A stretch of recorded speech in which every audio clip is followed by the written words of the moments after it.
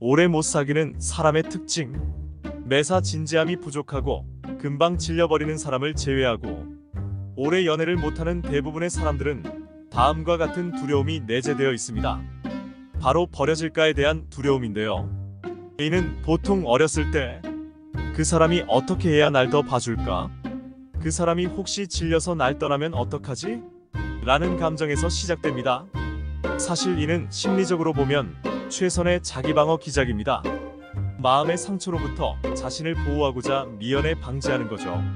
적당히 자기방어를 하면 심리적으로 안정감을 유지할 수 있지만 문제는 모든 말과 행동의 의미 부여는 물론 자기 멋대로 분석해서 버려질 수 있는 확률이 높다고 판단하는 겁니다.